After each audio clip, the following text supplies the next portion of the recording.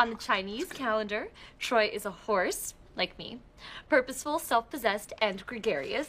No, I'm pretty sure I'm a snake. I remember because I'm determined, self possessed, and mendacious.